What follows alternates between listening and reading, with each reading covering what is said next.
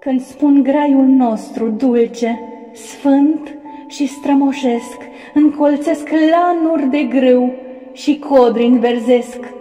Zămizlesc izvoare în stânci și înfloresc pe dealuri fragii.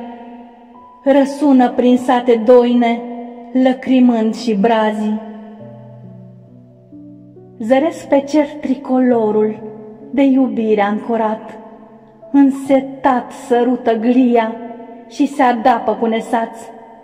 Clopotele bat flămând și trezesc vechile pagini, semănând veșnicul grai pe un câmp fără de margini.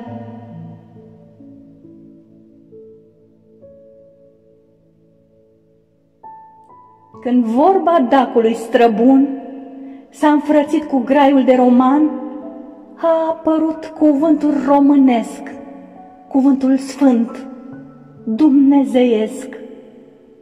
Din poală de suman și din catrință m-am născut eu, o copiliță. Primul cuvânt a fost mama, primele litere le-am învățat cu ochii.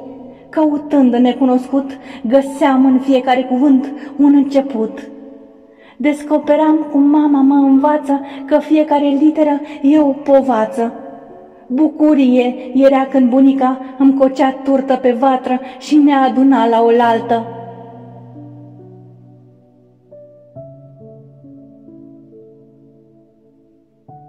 Din timpuri vechi am moștenit o limbă sfântă, dulce și armonioasă, tăioasă cu vrăjmașii când ne invadau. Poeții au slăvit-o cu versuri sublime, femeie răsfățată și iubită, tot neamul românesc trăiește prin tine. Ai fost, ești și vei rămâne mândria noastră din străbuni. Te înălțăm pe culmi, unde răsări de soare în suflet și în gând. Limbă nepieritoare, te iubim.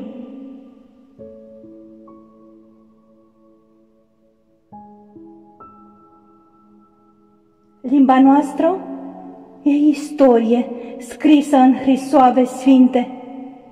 E și pâine aburindă, frământată în copaie. Suntem neam de dac străine.